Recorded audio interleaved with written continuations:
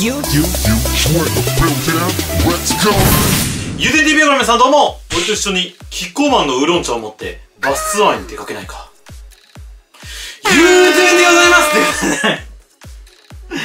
てめえ言い出違いじゃねえかっていう声があちらこちらから聞こえてきそうなんだけど、ついついウーロン茶チャレンジと称して、このボトルの中身を飲むチャレンジをしたい気持ちを抑えつつ、この U10TV を撮ってると言っても過言ではないよねっていう話なんだけど、この U20 がそのうちてめえたちと行くバスツアーを企画して、俺の地元である甲子園をガイドして、例えばここでカツアゲが行われたとか、ここは追手が迫ってくる危険ゾーンだとか、向こう側団地の敷地に行って、ここが人や消火器や生ゴミが降ってくるホットスポットだっていうことを軽快なトークで語って、本物のバスツアーそして本物のエンタメとは何かを教えてやりたいよねっていう話やね。ただ、そんなバスツアーをしようとしたとしても、参加するてめえたちの数が少なければ、バスのグレードもどんどん低くなっちゃうし、最悪軽トラでもいいやみたいな感じになっちゃうわけじゃん。だからこそ、俺がてめえの前で、まるでカーリングの選手のごとく床をゴシゴシと全力で磨いてまで、本気でお願いしたいのが、今すぐにこの U20 のチャンネルを登録してくれとこの U20 のチャンネル登録をお願いする声がどんどん高くなって、最終的にモスキートーンになるまで、俺は声高に叫び散らかしていくよねっていう話だし、どうせバスツアーに行くなら、軽トラックの荷台に乗せられるよりも、海外でよくあるような、2台繋がったバスみたいな、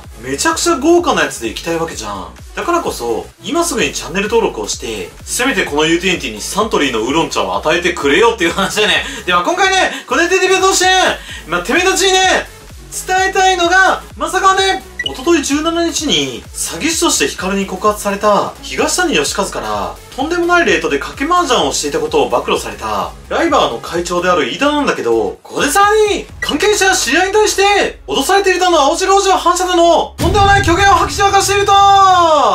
いうことでね、今夜本人が出演予定のこれこれ生放送を前に、無駄な抵抗で悪がきしてる様子がバレバレだよねっていう話だからね、まあ、この NTTV 撮ってるよねっていう話だね。今までの飯田を取り上げた動画に関しては、飯田のことをもっと知らなきゃいけないと思った俺は、せめて本人と同じメガネを探そうと思って、散々さまよった挙句、最終的にたどり着いたのが、ユニ vs ステュディオジャパンっていう話なんだけど、そこにあるハリーポッターの城に行った際に、小腹が空いたっていうことで、グッズ売り場を散策してたんだけど、そこで突然店員が話しかけてきて、おやつやお土産には、100ミビーンズがおすすめですと。そんなことを言っちゃうもんだから、100ミビーンズと一口に言っても、当然味が想像できないわけだから、試食を持ってきてくれないかと、そう店員に伝えたところ、それでは個人的におすすめのゲロ味をお食べくださいと。そう一方的にゲロ味のビーンズを口いっぱいに詰め込まれて、そのあまりにものまずさに、すでに俺の中でトラウマになっている、マレーシアで食中毒になった時の、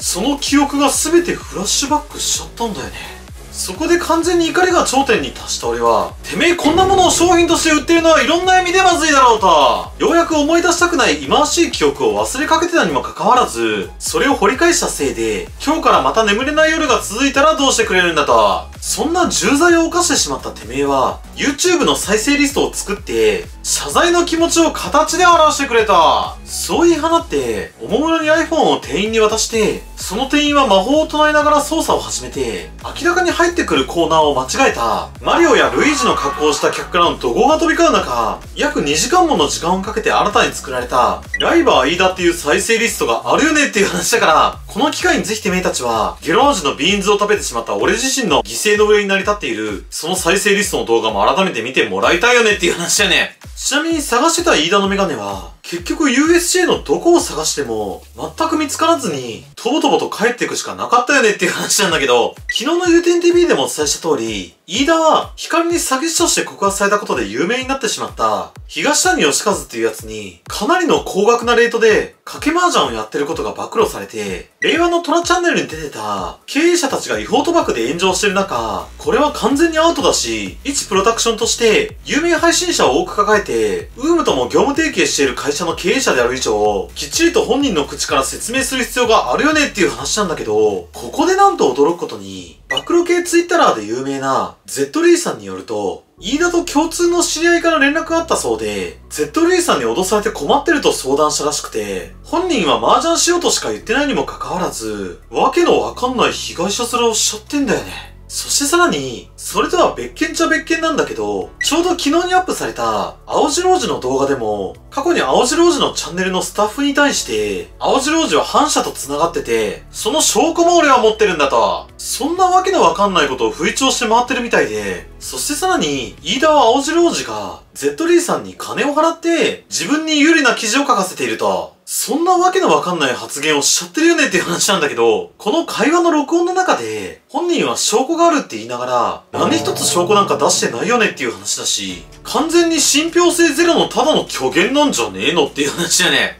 そして、今夜行われるこれこれ生放送で、飯田が一体何を喋るかっていうのを、飯田とは顔面偏差値が比べ物になんないぐらい高い江戸川20が全力で予想してやるとすると、おそらく飯田は、賭け麻雀のことに関しては、証拠も握られてるっていうことで、否定や言い逃れはできないと思うから、被害者面プラス泣き落としの作戦で攻めてくるんじゃないかなっていう風に俺は思うよね。おそらく最初は、俺もはめられたとか、俺も実は被害者なんだとか、怖くて断れない空気だったとか、そんな言い訳を並べて、賭け麻雀をしたことを正当化する言葉を並べて、それが通じないと、次は本人が青白王子にしたみたいに、感情に訴えかけてくる作戦で、俺だってこんなことしたくなかったとか、誰も俺の気持ちを分かってくれないとか、そんなことを言いながら号泣して、泣き落としに出るんじゃねっていう風には思うよね。まあ、そんな感じでね、実際俺の予想が当たるかどうかっていうことも含めて、今夜のこれこれ生放送は注目せざるを得ないよねっていう話だし、てめえ自身を守るために嘘をついて回ったり、